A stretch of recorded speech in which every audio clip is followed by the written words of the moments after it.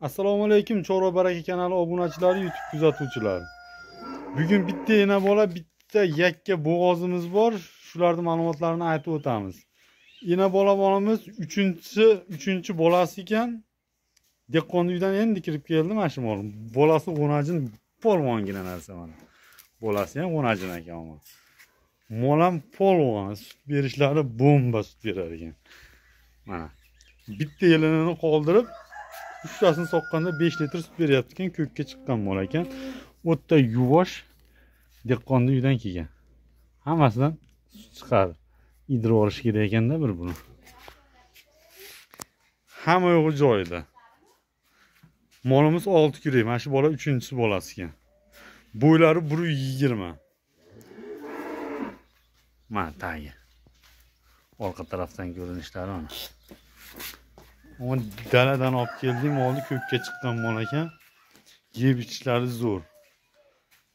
Xudo xohlasa mol qilib olaman deganlarga tavsiya qilamiz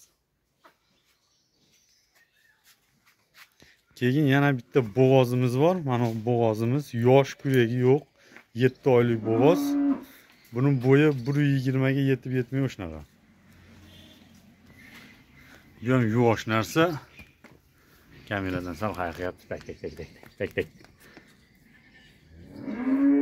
ha tortimlarni idishlarni boshlab qo'ygan orqa tarafdan ko'rinishlar. Tik.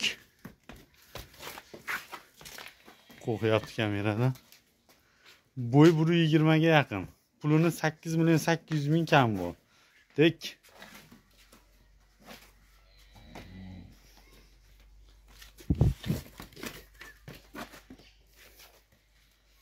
Sakkiz million sakkiz yuz ming kam bor. Ena bolamizni mana bolasini ko'rsatib o'tdik polvongina.